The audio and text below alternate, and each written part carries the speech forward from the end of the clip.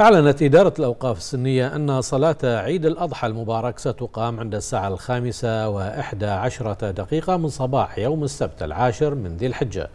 من عام 1443 هجرية الموافق التاسع من شهر يوليو 2022 ميلادية في كافة مصليات العيد. نعم وقد تفقد سعادة الشيخ الدكتور راشد الهجري رئيس مجلس الأوقاف السنية التجهيزات الخاصة بمصليات العيد مؤكدا جاهزيتها لاستقبال المصلين حيث تمت زيادة عدد المصليات الرئيسية إلى تسعة مصليات في مختلف محافظات مملكة البحرين وإدراج 11 مصلى خاص لأفراد الجاليات غير الناطقين باللغة العربية بالإضافة إلى تهيئة المصليات بكل ما تحتاجه من سجاد وأجهزة صوتية وإلكترونية والتأكد من سلامة التمديدات الكهربائية والتأكد من خطة الدخول والخروج لضمان عدم التزاحم عند المصليات.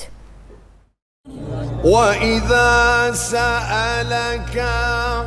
عبادي عني فإن الآخرين